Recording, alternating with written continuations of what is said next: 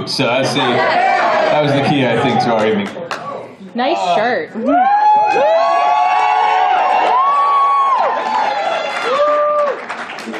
Mr. Troy. Just walk in. So hello, everyone. How's everyone doing? You just shocked me. Hi. shocked me. Shocked. These are like They're they're just small enough, or they're not. they're really not. Terribly They're kind of barely useful. Put that over there. We're gonna build a better. there we go. That's that, that's not precarious at all. That'll last the entire day without issue. Uh, so hi, welcome to our uh, our panel on the tabletop renaissance, tabletop gaming, and all points in between. So um, just, just do some introductions real fast. Sure. You sh- you should start. Okay. uh, my name is Matthew Mercer. I am a voice actor from Los Angeles, California, and longtime uh, indoor kid. Uh, yeah, you know what's up. yeah, me, me, me and Sunlight didn't get along, still don't get along. Uh, but, uh, but yeah, so I spent most of my life playing tabletop games, running tabletop games, and am currently the Dungeon Master on Critical Role.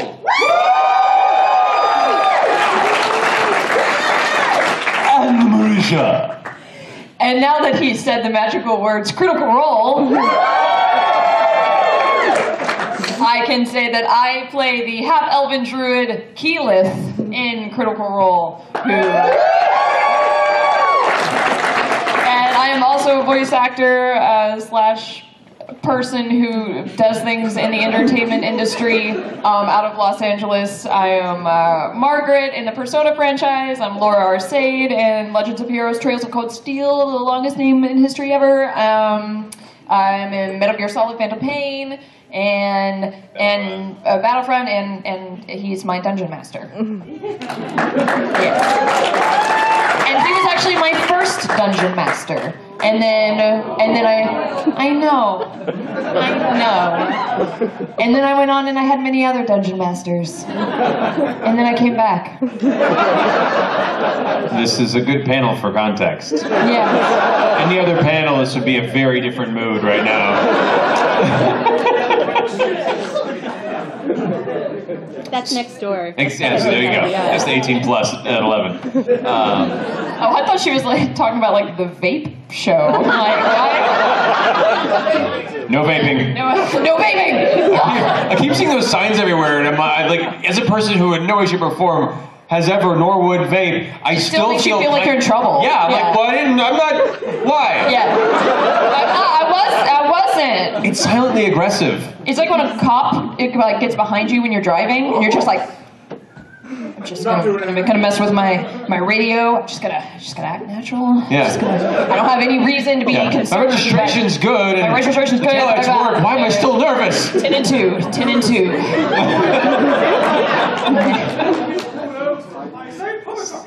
so yes, so this is a uh, th- this panel is to discuss talk. It's generally going to be a Q and A here. Talk about all nerdy points of uh, tabletop gaming, board gaming, uh, role playing games, and all the, those fun little adventures and experiences many of us have had in our lives or are currently discovering, and or will hopefully discover very soon. Um, so yeah, for those who aren't aware, uh, Critical Role is the show that we do uh, every Thursday, mostly every Thursday, on Geek and Sundry's Twitch stream, where us and a bunch of other voice actors play Dungeons and Dragons and roll dice and have no idea what we're doing. We have is- an insane cast of people like Laura Bailey, Travis Willingham, and Liam O'Brien, and, uh, and and Ashley, and Sam Riegel. I'm just gonna let you guys know right now, we we turned down playing D and D with sloth today to be here with you guys. That's true. That's how much we love you. That's true. And all of our bastard friends are just sending pictures of him. Hey. They're like, look what you're missing, guys. And I'm like, well, I'm in Pittsburgh. Yeah. I, got, I got the email. I've got Primanti Brothers. Take out. See, they know. I, I got the email a couple weeks ago, like, hey, would you like Dungeon Master for a sloth? I'm like, yes. Okay, When is it? Friday. Oh, can I just say? Ivan's got this. Ivan's got this. Can I just say the most ridiculous conversations were ever had though in the Geek and Sundry offices were like revolving around this sloth. I kept, I was like, guys, you, we have to stop talking about him like he's a real person. Even stuff like, because it all started with them. We were like, well, when's the sloth gonna come in? And they were like, well, you know, we got to call him. We got to see uh, what his schedule is and see when he's available because we're gonna have to book him out. And I'm like, and they're like, you know, he's like two weeks out. And I was like, what the. I'm not like I'm available next week. I'm pretty sure the sloth works more than I do in the entertainment industry. I placed the blame squarely on Zootopia and Kristen Bell. Yeah, yeah, yeah. Know, Oh, yeah. yeah. But yeah, and then and then Ivan was like, yeah. So the uh, the sloth is actually going to be playing a um a um like a half elven monk or something like that, and I'm like, what? Stop saying these sentences. Like it's like it's gonna happen. It's weird. It's a wonderful time to be alive. It's alive. great. It's great. this is what Kurzweil singularity was referring to. the, the sloth singularity. Uh, anyway, we got a little off topic Back to there. that. Yeah. Uh, but yeah, so we play D and D, and uh, uh, I I grew up playing all sorts of RPGs, everything from GURPS to Savage Worlds to Rifts, and most of the Palladium stuff, as broken as it was, as wonderful and broken as it was. Oh, exactly. In a, in a, in a very fever dream kind of way.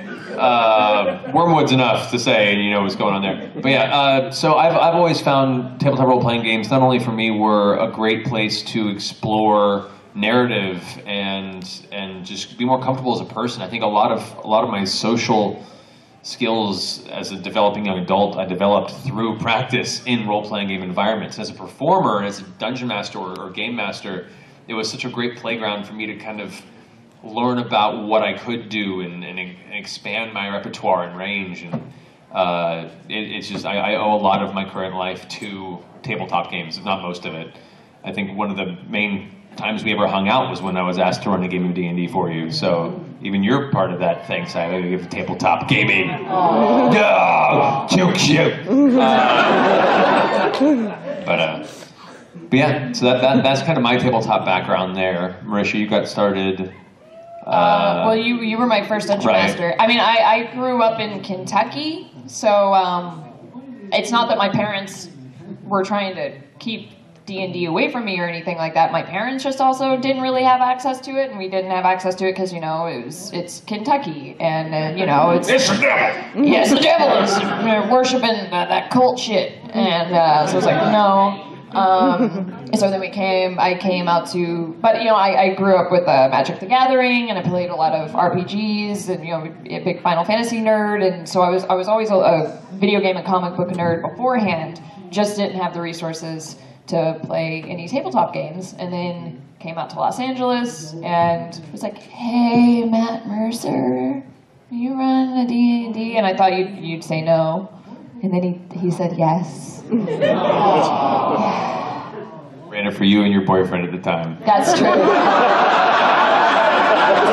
That's true. So watch out for the dungeon masters out there.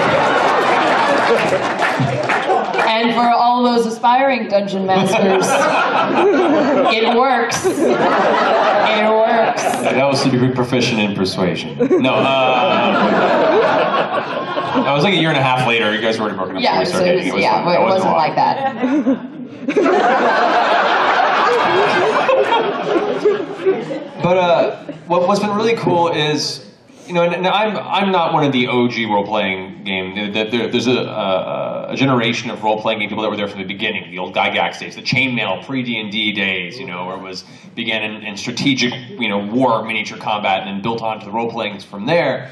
And uh, and I've learned so much from people who came from that genre, and uh, it's been really cool to watch through our show all these different generations of, of the old guard, and like you had the '80s kind of revamp when they when GURPS got big, and they had this kind of resurgence in role playing games. In the '90s during that Rob Liefeld era where Palladium got really popular, and uh, and even then it was still a very very subgenre of entertainment, and socially had this stigma that had partially stemmed from a lot of the the early anti D and D you know demon magic stuff that happened, and also this kind of idea that only kids who had no social skills and you know didn't want to to play with other people. That was kind of the idea, and it was never that. I never had that experience. Yeah, in fact, it's like that's kind of like the total exact opposite, actually. How did that even happen? How did D and D players get that reputation? Uh, that, largely because of media and because uh, I mean, and, Tom on- Hanks and Well, Mazes and Monsters. monsters. But, but also to be fair, and, then, and I don't want to go into this too because this is a whole different discussion. But a lot of the the American identity of masculinity stems from this very go sports, go you know prove, and and there's nothing wrong with that. You can do both. But there was this idea that if you weren't the outdoor you know varsity sports kid, um, and you preferred to sit down and make up fantasy worlds, that that was considered the unmasculine thing and the, and the not you know desirable thing. And of course, media pushing this whole you know pr- pocket protect your geek feel in the uh, you know the 70s and 80s especially. Um, it all just kind Big Bang Theory laugh tracks, you know. Sorry if you're not a fan. Of, if you're a fan of the show, I, I, sorry. No, I'm not. I, I, there's no remorse. It is not for me. That show. Um, power to you, not for me. Uh, but but yeah, there's this this trend that led to this unfortunate stigma that that the the genre of gaming took on for a long time, and we're finally pulling out of that. And I think a lot of that Mainly thanks to Travis Willingham, well, he's definitely helped in that regard. Um, the guy who played football in college. Sitting there. Diesel. And Vin Um, Diesel. Vin yeah. Diesel was one of the, Yeah. the breaking points too, and I think, and it's it's it's a combination of one, pop culture has become culture now. Um, so with all these major geek properties, that everyone all of a sudden is stopping and realizing, hey. w- So we all like Spider-Man in this room? oh, okay, okay. That's cool, yeah. You know, we've had, we've had that wave now with geek culture, which has been really cool. And now we have this new wave of storytellers, all the people that are becoming the producers and writers and actors that are inheriting the entertainment industry are all the kids that grew up in the 70s and 80s Surprise, and they're 90s. nerds. Yeah, playing these games. And so now you look at the people that are that are creating all the mainstream media entertainment, and they're all of us. They're all the indoor kids. That instead of going out and you know beating up kids for their lunch money, they were inside figuring out orc encounters in the second level level of the dungeon. now they get to get paid for that. um, so so we're at this this this kind of renaissance period where one, it's becoming okay to talk about it and, and openly be proud of the fact that you're, you know, a, a tabletop role playing geek. And two, people who have always been interested now have an open forum where they can actually be, you know what? I've always wanted to see what this is about and try it. Can we do that? And there not be this kind of negative backlash. And it's it's been really really cool to watch so many people come into this genre of gaming. Uh, run now. um, It's a patio door, somebody opened it, they didn't shut it right. They went to go vape. we're all safe now. It's on fire. Yeah. yeah. So. Anti-life shell. Be within 10 feet of me, guys. Whole room. Fit everyone within 10 feet of Within you. 10 feet, and we're, we're good. The, the best Katamari Damacy level ever. Uh, exactly. By the way, guys, I want to point out this gentleman over here uh, who, if those who saw the um, the episode of Critmas, who gave me my Thordak, my my colossal red dragon right there. That's right. Applaud him. Now get out. Get out. No, no, no, no, no. I'd also like to point out the amazing woman up front cross stitching the de Rolo crest. Because that caught my eye. Can we? Can, is, I know it's a work in progress. Is it okay if we see? Like what the what the what? What the what? This is insane. Tell Sam this is cross stitching. Oh my god! Look at this thing, guys. Oh my god, you guys! You guys! And this is actually, and I'll, I'll segue from my conversation. I'll come back to it. But I also want to point out one of the wonderful things about this community that has blown me away is how many people have got into the game and created their own adventures and share them with us on a weekly basis, and other people who have taken inspiration from this silly little D and D show we do and do incredible crafts like this and do incredible artwork and write their own stories and, and make their own little minis and, and, and, and paint them and send us pictures. Just like the amount of, Insane. of creative inspiration that's, that's come out of this community is it, it's amazing. That's a valid, very valid example of it. Yeah, Well yeah. No, it, it's it's and so incredibly, uh, it are just heartwarming to see the whole art, inspiring art aspect, and that's that's what I think is incredible about it. And, and like I said, with like Critical Role would not be the show that like we wouldn't be Critical Role if it wasn't for the critters and the fan art Period. and the fan fiction and the music like every every little piece of art that uh, that you guys put out we try and catch almost, we try and catch every single one of them and, it's just all incredible. It's Liam's, Liam's obsession. it is liam's obsession. he just scours the internet and he knows almost all the artists. He knows all of you you people by name I'm not joking. I'm not joking. He Test him like, on it. Tell of him we said that. All of the artists. And if he doesn't know it, he's disappointed you. Not actually- Liam Appreciation Day. It is- yeah, it was Liam Appreciation Day. Show him your That's what you're doing. appreciation by asking, "What's my name?" Don't do that. There you go.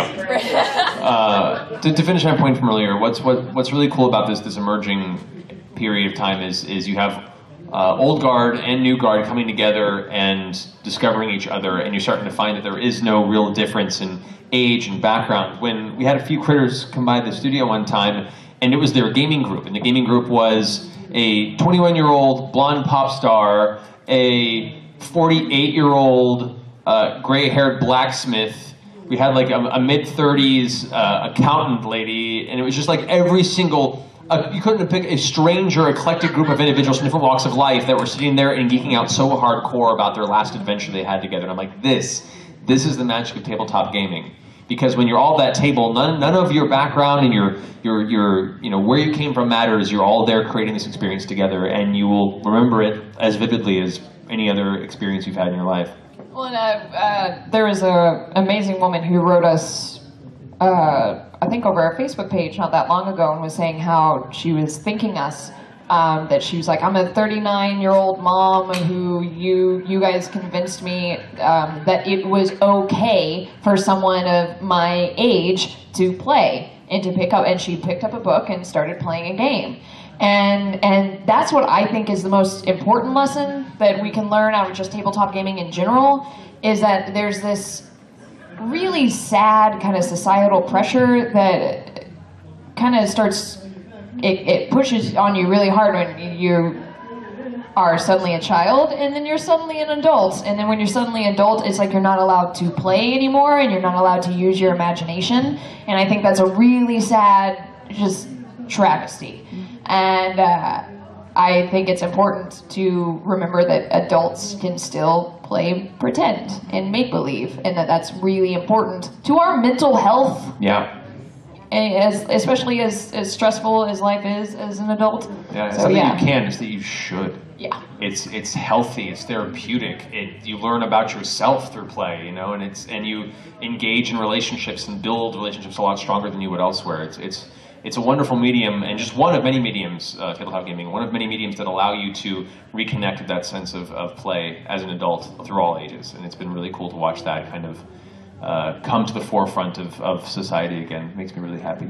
yeah. I've been saying this a lot here lately, where I've kind of slowly started to realize, uh, especially with the show making our games weekly, um, that Keyleth has kind of totally infiltrated me a little bit, and she's made me a better person, and I legitimately believe that a hundred percent because it she's I'm, I'm not like Keyleth. There's so many ways that she's different from me, but being her for so long has taught me to empathize with people who are like her, and she's she's influenced me, and she's I think she's made me a more empathetic person, um, and and I think that's a lot of important things that you can get from role playing games that people don't talk about that we should. Yeah, mm. well, it's, it's a new form of storytelling. Oh, I I have a very similar experience where since we've started playing weekly, I've become more schizophrenic. Talk to myself more when nobody's home. No, but like it's it's storytelling as a medium is as old as we've had people. You know, the the idea of, of telling stories and creating mythology and the elders of the of the tribe telling the younger generation about the great heroes of old, whether they be historical or created. And it's these tales, these heroic tales, that inspire the next generation to want to be better people, to become these heroes, to try and make their mark on the world uh, for the better. And this is, you know, this is a medium for all of us where we can create something, an aspect of ourselves that we don't get to explore and experience often enough. And through these these games, create a character and a personality that, even in the smallest way, will help us be a better person. Unless you're playing a totally like shitty group of evil characters, in which case it's just to blow off some steam and that's totally cool. Don't let that affect it too much. Um, but yeah, it's it's it's really it's a really cool therapeutic medium in that way as well. Yeah, it just te- it teaches you to think differently and to think how other people might think and, and realize that it, it breaks down the idea of the monomyth that there's like a definitive line between good and evil, which I've never believed. Um, you know, even even bad characters, even the evil of, of characters, generally have motives that are rooted pretty logically. So, and I, and I think it's important to just kind of, yeah, they're, they're good lessons. Yeah. Yeah. Yeah. We should we should take questions because we've just been was like gonna say. rambling. Sorry, just talking at you. well, we'll go ahead and start. Uh, we'll start calling folks for questions here. Uh, like, we'll go ahead and start with this wonderful lady over here in the green dress. Uh, so That's all right. I, I tried to run a game once, and I was awful at it because I'm very much okay. I planned all this stuff out, and of course nobody does that. I, We're all awful at the beginning for that reason. Don't worry. So, like, what what are things that you do to prepare, or just kind of prep for it, or exercises, or like do you just do improv classes? Like what? What helps you to prep for that? It's funny you say improv classes. Uh, it's not a route for everybody, but it is tremendous, tremendously helpful in so many aspects of life, in my opinion. Taking improv classes, not just as an actor, as a performer, but just as a person, it teaches you one how to work really well in a group. It teaches you a group dynamic and energy where it's all collaborative. It also teaches fast response time. Yes. Very, very, very quick thinking, uh, thinking on your feet when you're handed stuff you weren't expecting. It, it, it- Doctors will take improv classes to help with their response time. True story.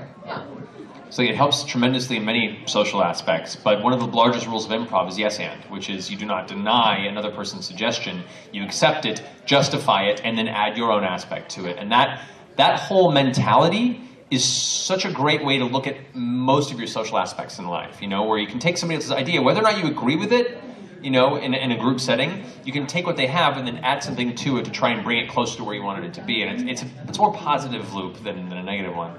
Um, And, and the reason why they do that, the reason why that rule is there, is because as soon as someone denies you something, it does two things. One, it makes the person who is setting up, you know, their point look like an asshole. You immediately just rip the rug out from under them. Two, it stops the scene. You know, so say for example, if I was like, "Hey Matt, isn't the ski slope totally awesome today?" No, we're not on a ski slope. We're in a store. What are you talking about? Now I look like a fucking asshole. and, see what I mean? and then like I can't, you can't go anywhere from that. You're, that's it, done. But if I'm like, man, this ski slope totally crushing some snow. I don't ski. I don't know. Like, Whatever yeah, you say. But the snow's getting kind of slick. It's almost turning like it's ice. Wait, this is an ice volcano. What? Oh my god! I didn't know. You didn't tell me we were going to the ice volcano, bro. Happy birthday. you know, and see how that just, it, it- when you accept it and you're just like, ice volcano? Totally. It, it gives you permission to keep going and it builds on it. And I, and I think that's very important. And in fact, one of the people ask me all the time, um, what was your worst DM experience? And I was playing a Buffy the Vampire Slayer tabletop RPG, and I was a pyromancer. And um, I was used to him being like, How do you want to do this? So I got a kill. So I thought in my head, I heard Matt going, How do you want to do this? But it was a different DM.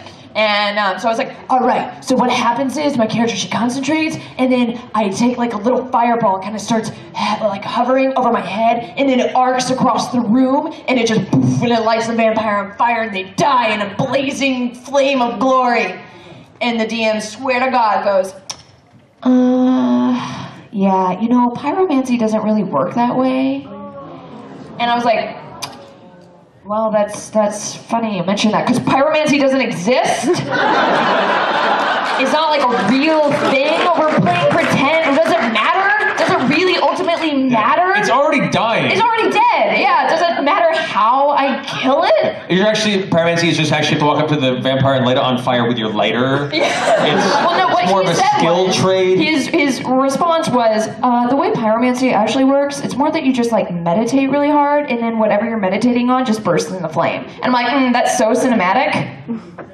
So cool. I'm just gonna. or not, not, or so different from what you suggested. Yeah, yeah. Yeah, it's- so it's just stuff like that. That that giving people permission to keep going. That that positive loop, like Yeah. the positive feedback. Loop. Mind you, if it doesn't change the, you know, if, if she wasn't a pyromancer and did that, the game might be like, well, you don't really have any fire powers. That's a little weird. that, then yeah, there's a line. But if I it, thought it was like just a vampire slayer and didn't have magical abilities, then that that'd be one thing. But But yeah, you know, if, if, the, if, if it's not going to change the way the game plays, and it's it's cool cinematically, and it makes the players smile as they describe it, there's no harm in letting you know most aspects of that suggestion go through. You can even tweak it a little and tone it down as a reversal, but still maintain the core of it, and they still have as much fun.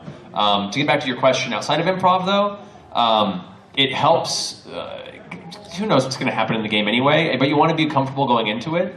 So, best you can, try and think of a number of alternate possible routes. You don't have to flesh them out dramatically, but even have like a few little bullet points of like, well, if they go to the left, they might find a you know a hive of ropers, you know, or if they end up going to the to the, the right hand side of, of, of this cavern structure, there's a long uh, crevasse that leads down into a small society of fungus men and that's enough of a note that might never happen.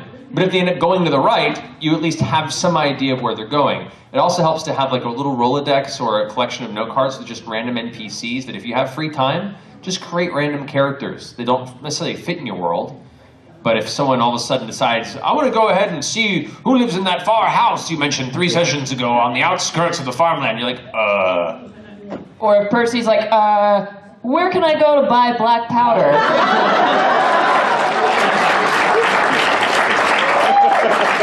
Another very valid example.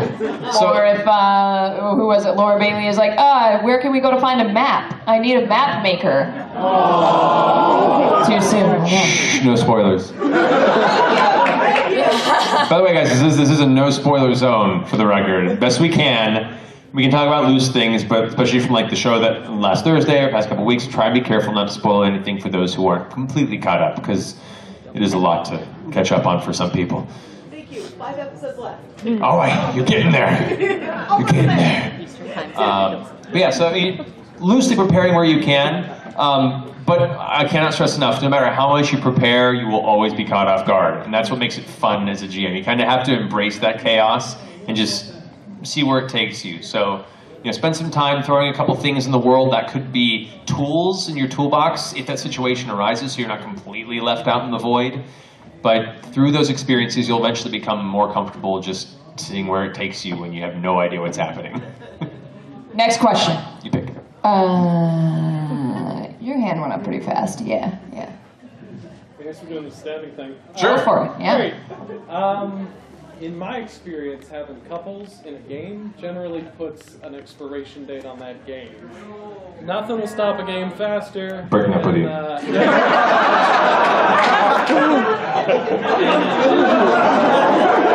What was your question? your game is like 50% couple at this point, unless I really misunderstood the question and answer. Uh, No, no, that's true. No, we're, we're together. Uh, Laura, Laura and Travis, Travis. uh, Liam, and Sam. Yeah. Yeah. So do you have uh, any? Does it, how does it change a session to have people together in real life who aren't necessarily together in the game, and then there's role playing that goes that way? Because I've only had bad experience. Right. It can, That's a great question. It depends. It depends on the people you're playing with. And uh, real quick for those of you in the back who might not have heard the question, he said, uh, "How do you deal with couples in games? Because that tends to put an expiration date either on the game or the couple." um, yeah, continue. Or both. Yeah. Yeah. You uh, first, you always have to gauge the players who are involved.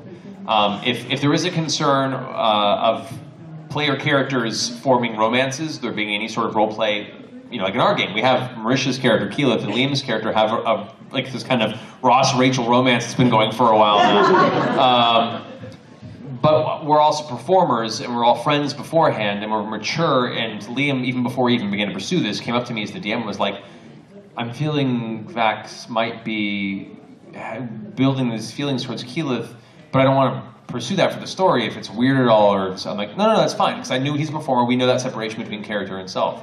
However, not everyone can be as mature or as trained to be able to keep that separation, and some people might be more jealous than others. And I have seen people who have been couples that game together and it's caused strain. So one, you have to gauge the players and the atmosphere of who you're playing with, and if you don't think or have any question that the atmosphere could facilitate that, then just don't do it. It's not a necessary aspect of it. Um, or at least minimize it to the point where it isn't like this dramatic moonlit sequences where they're both staring at each other's eyes and you have to sit there and watch your, you know, wife bare her soul to the guy who every now and then looks over at you and kind of gives you like a eyebrow raise, sending you texts, "I'm coming for her, dude." You know, like no, that'll be a problem. So you, you have to get you have to gauge the maturity level, and if there is a concern, then then don't don't invite it because it'll just it gets it gets messy. Um, after you've played with them for a while and you know the dynamic between you as friends and in the game, and you feel it can be something that can be done, by all means. But if it's kind of a newer gaming group or people you aren't you know, don't have a long-term fr- friendship with and can really get a beat on how they play with that, you got to be a little careful. As far as like DMing her, uh, she does not put me on the couch when I, when bad things happen to Keyleth, like the internet seems to, to suggest. Every episode, it doesn't matter. You might, you could like do something amazing and be like, "Oh, Matt's getting on the couch tonight." Ah! I'm like, sure, It's a comfy couch. I mean, it's a nice couch. Yeah, you'd be fine. yeah. So uh, No, there, there's a separation. We're we're not insane enough yet to where we don't recognize the separation. Um, I'd be lying if I said we didn't absolutely get 100% emotional um, about our characters and about things that happen in the game. Um, but I think those two things aren't mutually exclusive. You can get emotional and you can have feelings without you know, and, still realize that it's still just a game and this is still just pretend. Um, still doesn't mean that this game for us hasn't been incredibly important, and even though it is just pretend, it's not. You know, like we, it's beyond. It's so much more at this point. It's hard to quantify. Um, but yeah. yeah, Boys, if you're playing in a game and your girlfriend's the dungeon master and your character dies, it's not her fault. It's how the game goes. Ladies, if you're the dungeon master and you kill off your boyfriend's character, don't do it just because you can. that goes both roles, but the idea is just to respect the fact that death happens in the game, difficult circumstances happen, and uh, unless you really did something to piss them off the week beforehand and you think this is getting back at you, in which case you probably deserve it and just keep your mouth shut anyway. um, you know, just understand it does happen, don't take it personally. Next question. yeah. Let's go. You pick. Let's go. Let's go at the back. Um, uh, let's see. Uh, you also have the purple shirt rolled up to your elbows. Yes.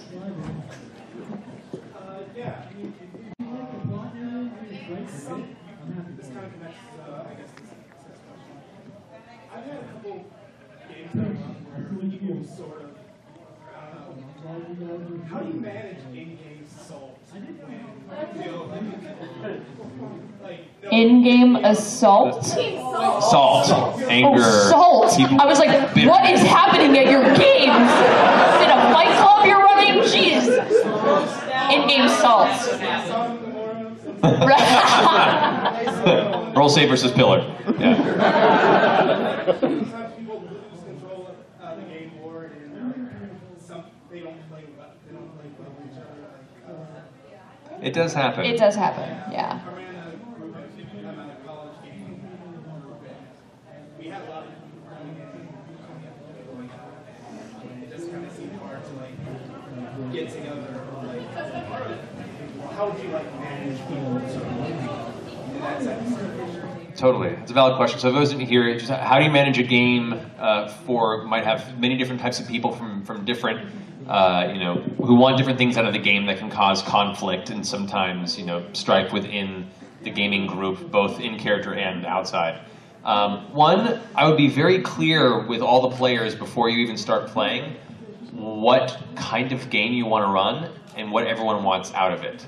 It's very hard to run a game that'll appease all the hardcore role player theater geeks and all the number crunching uh, min maxer, you know, Diablo style kill shit take loot gamers.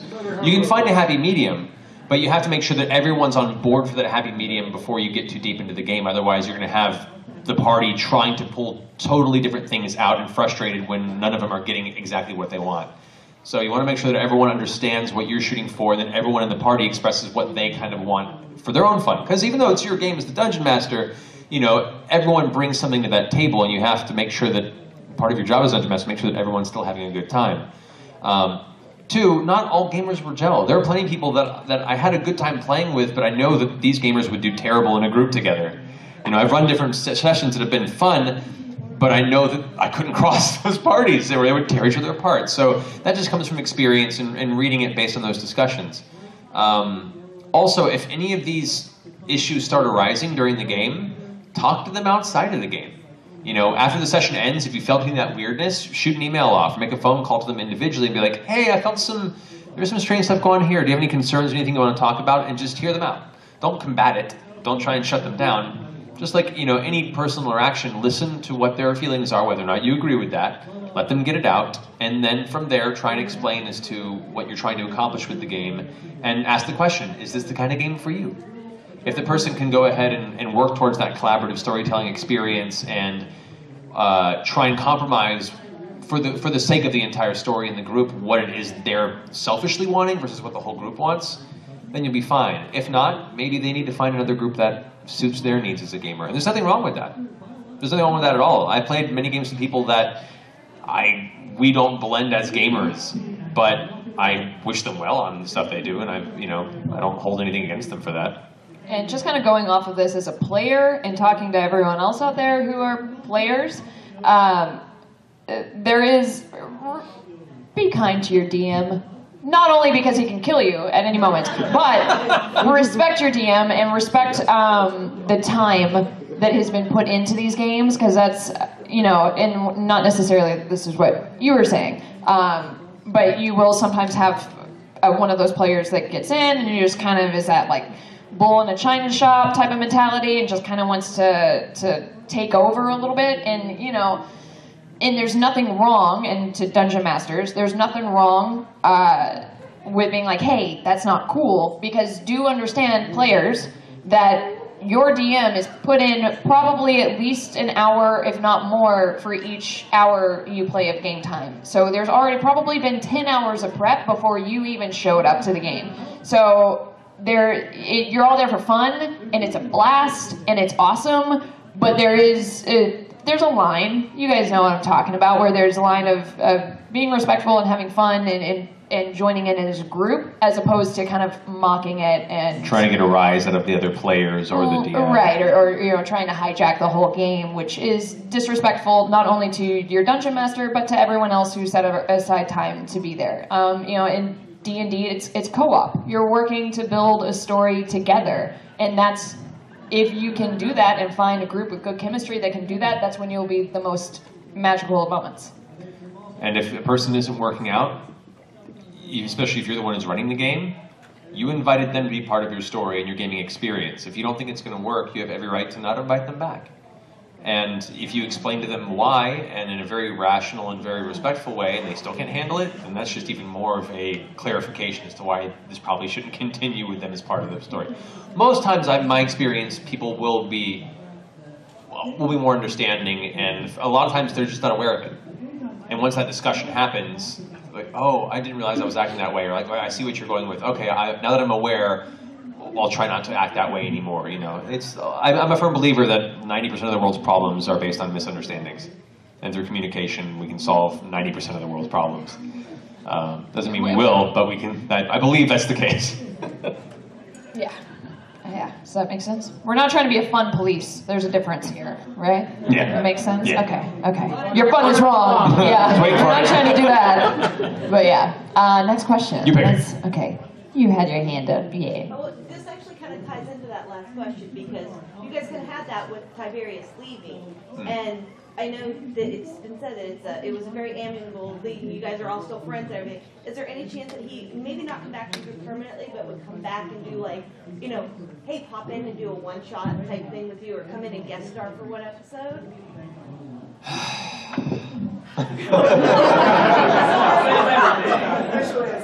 Uh, Next question. Uh, I, I, I, I will say we've nothing but the utmost respect and appreciation for everything that, that Orion brought to the show and the care of Tiberius and the time that we did play together. Um, however, some circumstances in life come to a point where they have to go their separate ways. And he has his paths to walk, we have our path to walk, and we wish him well and we've supported him uh, through that entire endeavor. Um, what the future holds, I can't say. You know, circumstances change, people change. Uh, I can't tell the future and I, I like to think the best of most people um, in all circumstances. So I, I can't give an answer one way or the other, um, but uh, but whatever, whatever he's up to and whatever's uh, you know whatever the future holds, I wish him the best of luck, and uh, we shall see. Next question. Uh, let's. Yeah, you're the plaid. Yeah, you. Yeah, yeah. There's a lot of plaid suddenly in the audience.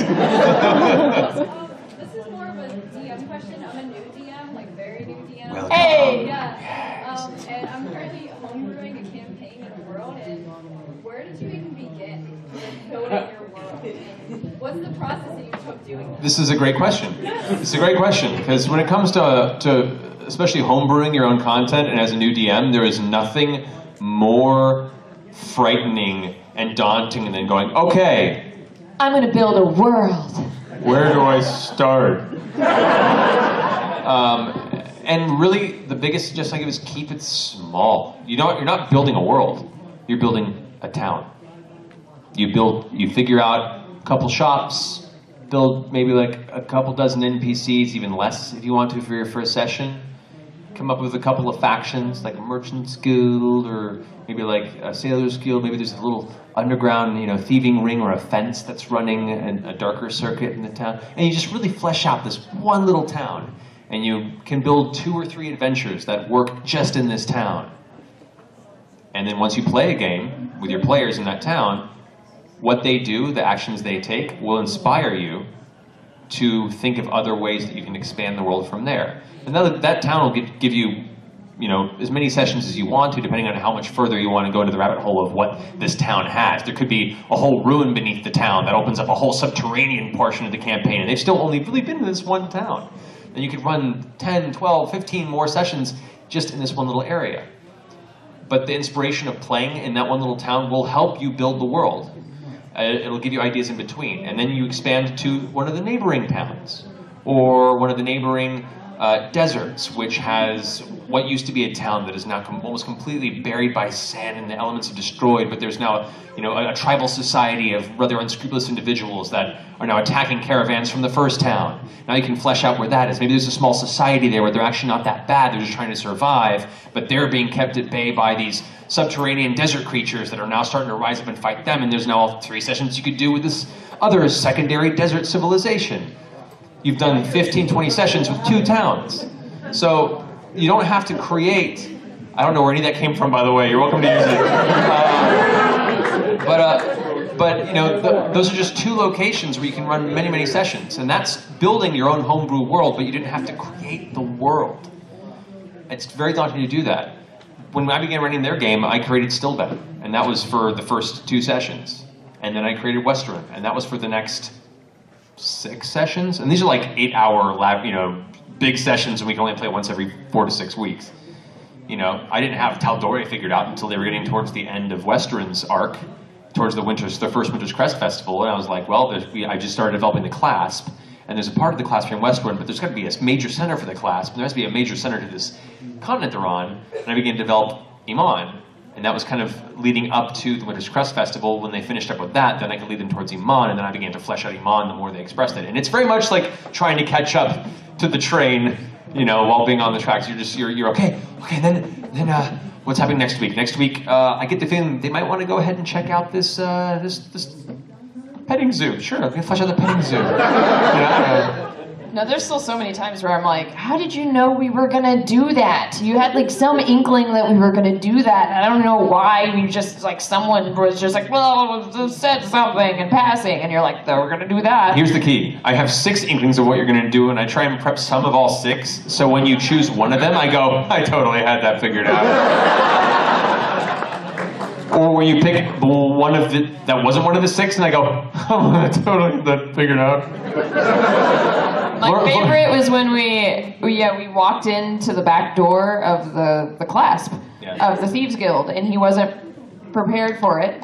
Um, man, that was a good game. that was great. We just we were like, yeah, let's do this now, and I like I'll still never forget your face when you're like, okay. Uh, I'm like, yeah, we got like three, four Uh, sessions before they actually meet up with the clasp and their stuff. Where are you going? You're walking in the back door. All right. You're basically like, hey, hey, what's up, class? Um, yeah, we kind of went in the back door and yeah. And Matt rolls out one of the, the like dry erasable marker grids and starts just drawing the class. This is where the clasp lives. We're going off grid, folks. We're off grid. Here we go. Good times.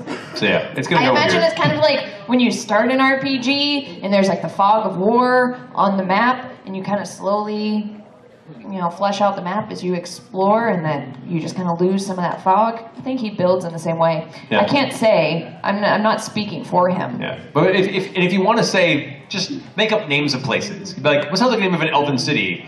Zolvana. Right? Like, Pervon. that's a real name.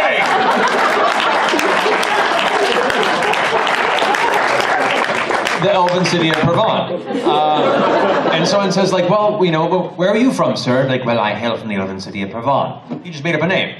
But now, down the road, you can then begin developing this elven city of Provence. Pervon. You know, and it, and it sounds like it sounds like you've had it planned this whole time because the name was mentioned so many sessions ago. It only really clarified like a week ago, but they don't do that. Magic. Next question.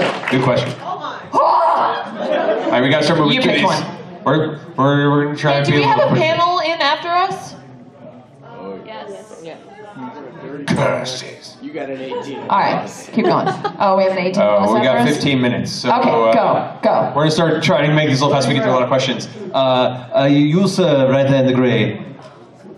Yes, you.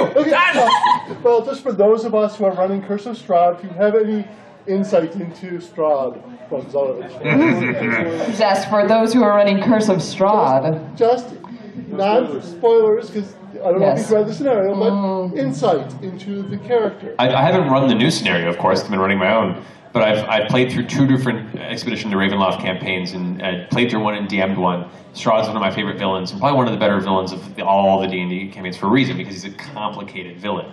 He has a lot of a lot of very interesting things going on internally, and not all encounters are about seeing Strahd fighting Strahd.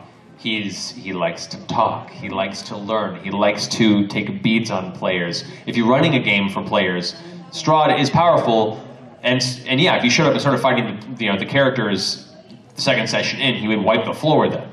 But sometimes Strahd just wants to talk and find out about them, ask them questions, maybe see elements of their history that nobody should know and start messing with their head. Barovia is a strange place like that. Secrets are traded around, and God knows what the Vistani I managed to hear in the whispers while you're sleeping and don't realize you're talking in your sleep. You know, there, such a great place, Barovia, for a dungeon master. Very scary place for a player. Um, it's hard to say anything without spoiling the character because there's a lot of intricacy to his backstory and a lot of you know his his origin story, uh, his previous love, his his brother. Like there's so many aspects of it. But Strahd, I will say, Strahd is more than the surface Dracula vampire you think he may be. There's a lot going on there, for good or bad. There's a lot going on. Next question. Uh, let's do in the back. Uh, yeah, you who's going like this. Yes, you. Sometimes it helps to flail. Um, yeah, so, uh, I watch Great Mortal and stuff and all that, and I was just wondering. Dope. Yeah, uh, I was just wondering, um, like, as a DM and an aspiring possible voice actor, as I want to try to do that in the future, uh, what are like some tips you could possibly give DMs as well as um, uh, actors? Uh, let's see. Wow, One. that's deep. Yeah. That's a I'll big question. Try and make this as, as concise as possible.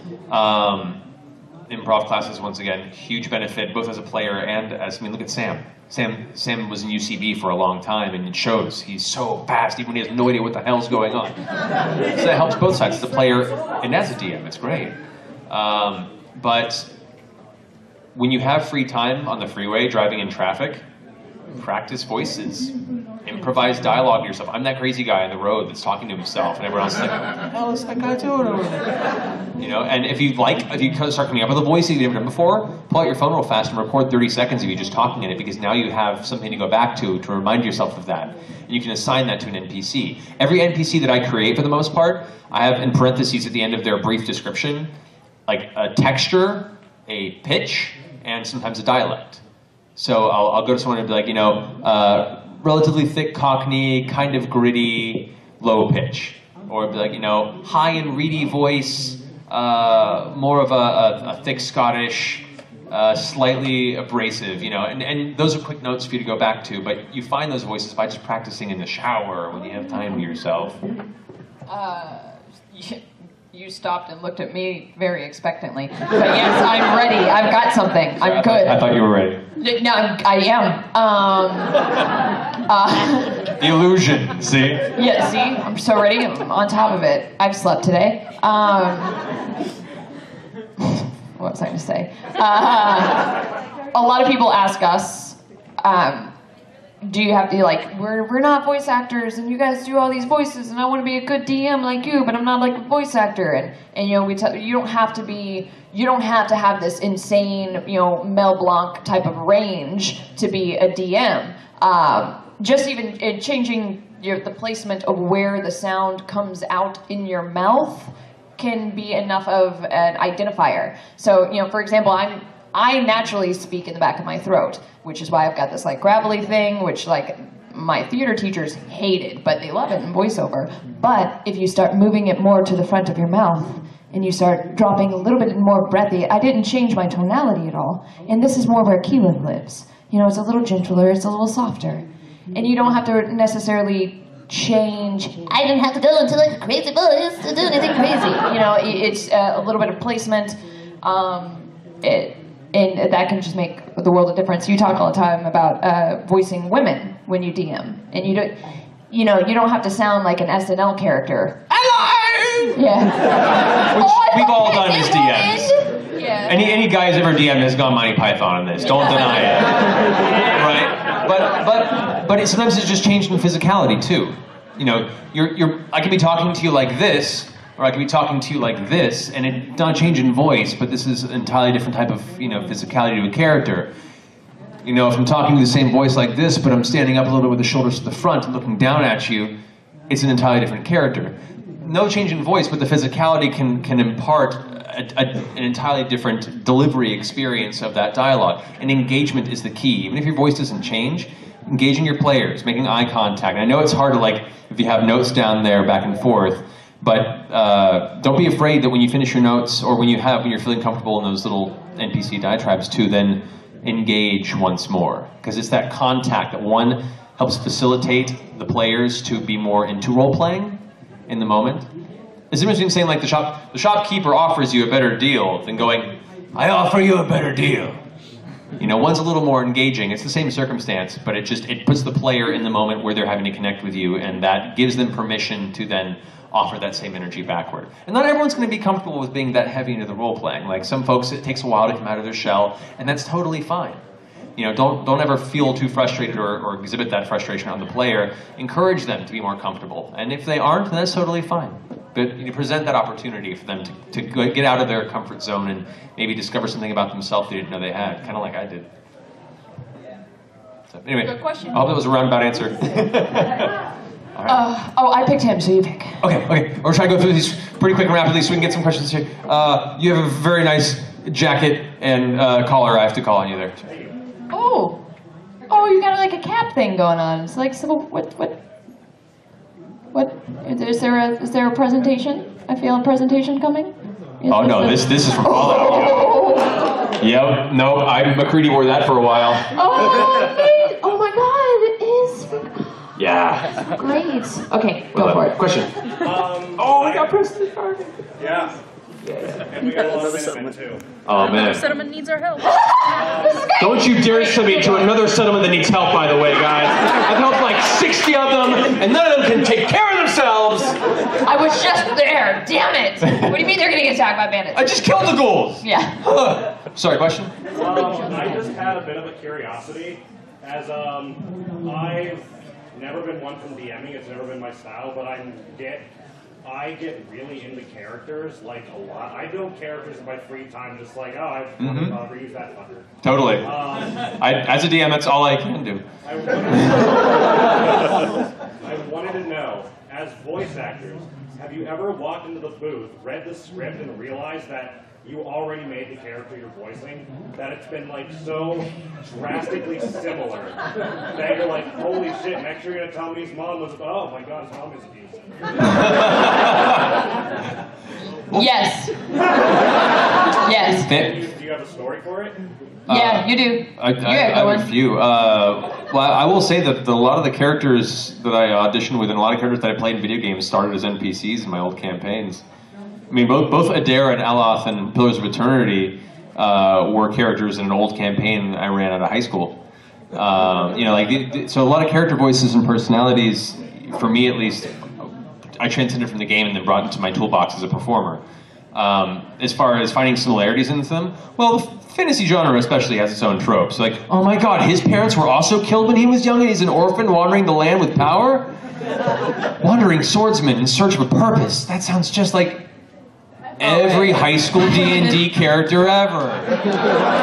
So yeah, I've definitely had some similarities in those regards.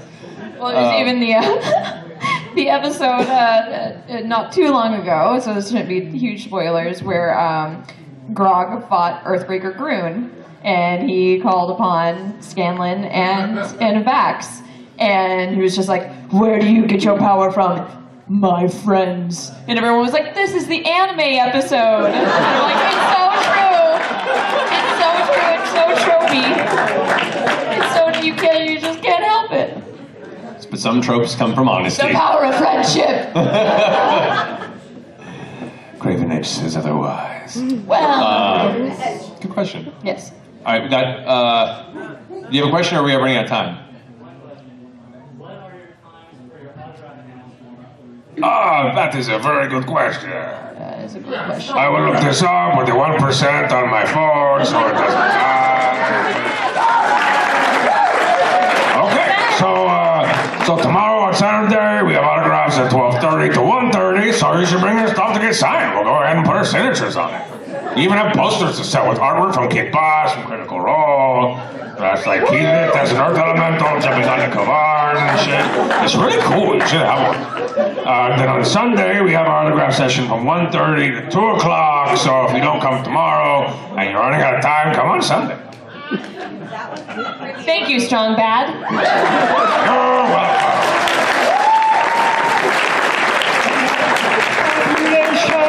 Next question. Uh, uh, yes. Yes. Yes. Yes. Needs more questions answered.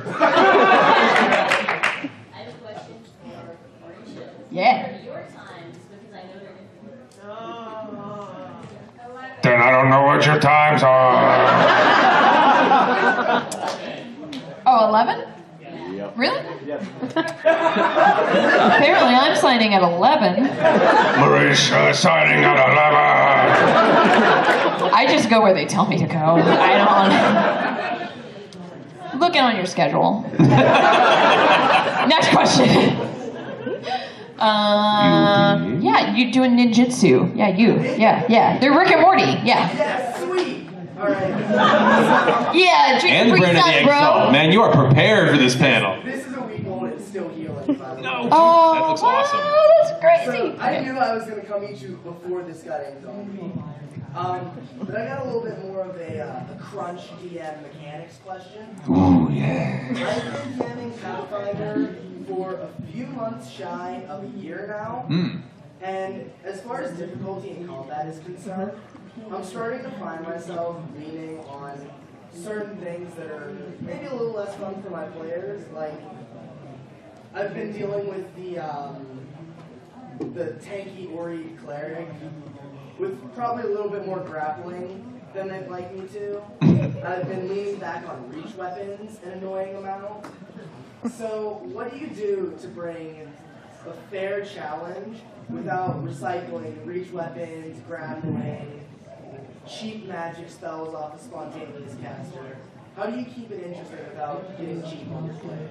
Good question. Yeah, I mean, cheap works on occasion, um, but also consider not all challenges are based just straight on damage mechanics and weapon use. Uh, building interesting and dangerous terrain for a battle can make what seems like a relatively pushover combat into a very, very precarious situation for the party.